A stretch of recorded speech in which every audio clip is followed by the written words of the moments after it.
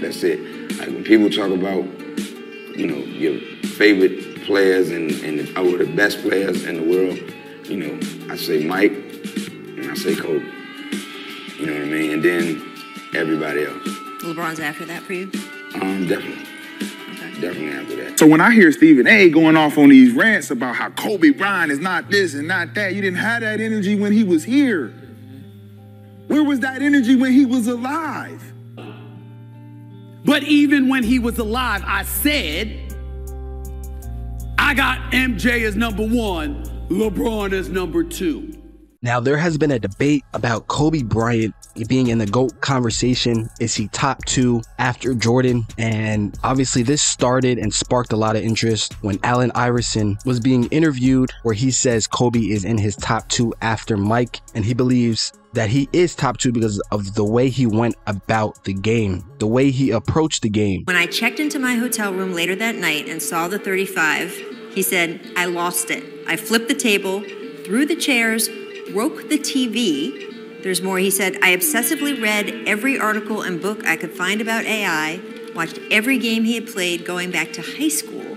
He said he studied shark attack videos to think about angles that he could approach you at because you move so fast. And he thought that might help you. I mean, you, when you hear that, he broke a TV in his hotel room because he saw you had a good game and he didn't. I don't know. I just look at that as, yeah, that's Kobe Bryant. Yeah, but you, he said you were the one. He didn't say I was obsessed with everyone in the league. he didn't I'm- say I watched everyone else's game back till high school. He said it was But you. with- Kobe, he was so different to where it was like, Phil, I want the assignment. You know what I mean? Take Fisher off him. I want the assignment. Mm-hmm. I've never seen nobody as competitive like him, but Mike. That's it. Like when people talk about, you know, your favorite players and, and the, or the best players in the world, you know, I say Mike and I say Kobe. You know what I mean? And then everybody else. LeBron's after that for you? Um, definitely, definitely after And obviously, this is all opinionated. And then Stephen A chimed in and believes that Kobe is not number two after MJ. He believes LeBron is there, but still thinks Kobe is in that top five to top 10 conversation, of course.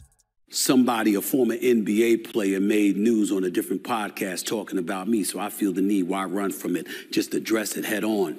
You know, recently I spoke on Allen Iverson's thoughts that the great Kobe Bryant, the Black Mamba, uh, should not be ahead of LeBron James on the all-time list as the greatest player in NBA history, or number two to Michael Jordan. And obviously, there were people who took umbrage to that. One of them was former NBA player Rashad McCants uh, who expressed his opinions on what I said when he appeared on Gilbert Arenas' podcast.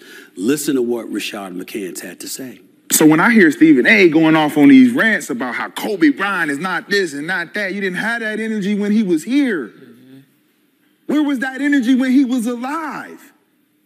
And stop bringing this man who passed to extend your narrative. Why would why would Kobe be in the conversation for you to kill him off so LeBron can live higher than him? It don't make no sense. Let the man rest. Let's keep him wherever everyone has him. If you got him one, you got him two, you got him three. We don't need nobody trying to push him down, push him away so somebody else can be elevated. LeBron gonna be LeBron. Mike gonna be Mike. We've been comparing Kobe Mike forever. Here comes LeBron. Okay, join the conversation. But don't be trying to diminish my man's name. Yeah. Like he wasn't that guy. Former NBA player Rashad McCants chimed in on this on Gil's Arena. Now, McCants believes that Kobe is always shunned away from that GOAT conversation, and more recently because he is no longer with us. And then Stephen A. rebutted McCants' statements. Couple of things. Rashad McCants' first order of business, respectfully, you don't know what the hell you're talking about.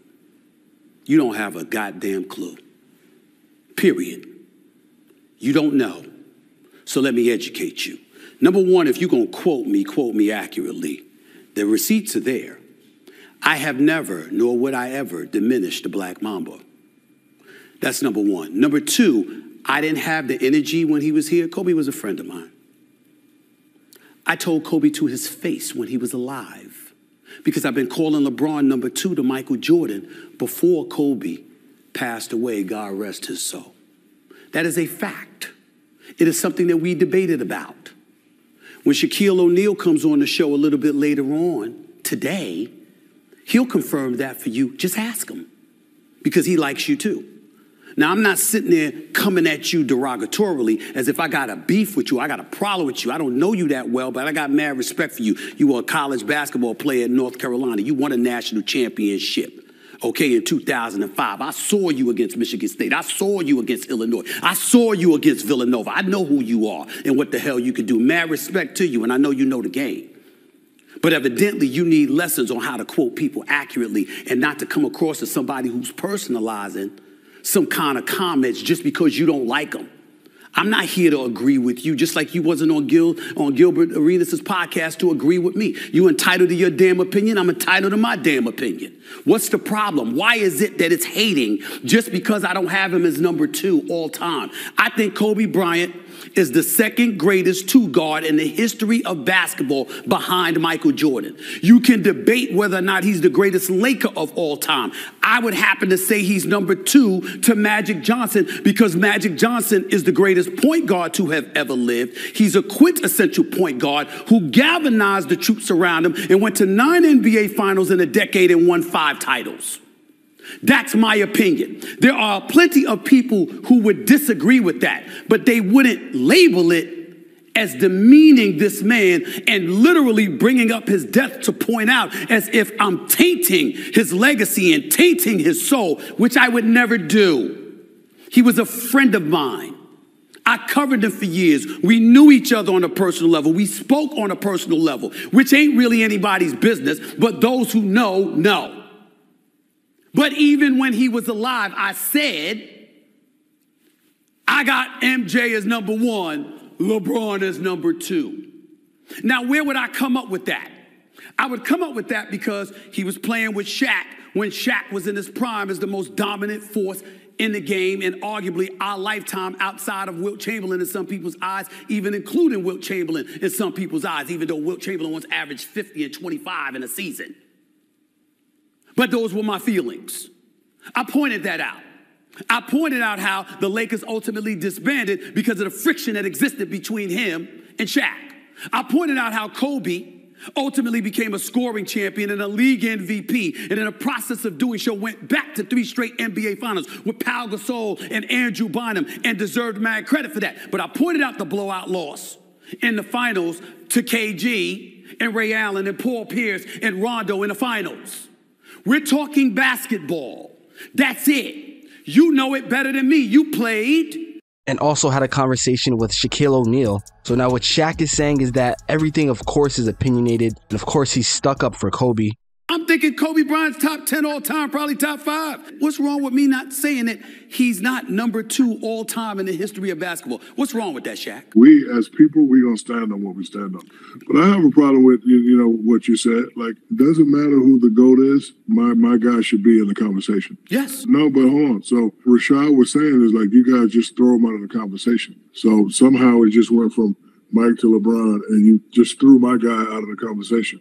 His name needs to be in there all the time. Mm-hmm. And when and when his name is not in there, that's when people have a problem. There is nothing on earth to question the greatness of Kobe Bryant, but it did help for those first three rings that he had you in your prime to some degree. That's not the point. The point everybody is making is don't leave him out the conversation. I'm not leaving him out the conversation. You are. I always hear Mike and LeBron, and I used to hear Mike and Kobe. Certain people can be in a conversation, certain people can't. Before y'all say one and two, you can't leave my guy out. And believes he should always be in that conversation. But what do you think? Is Kobe top two after Jordan, or is he just in your top five or top 10? And if you want more NBA videos or basketball related videos like this, make sure you like and subscribe. See you later. This is Game on the Line.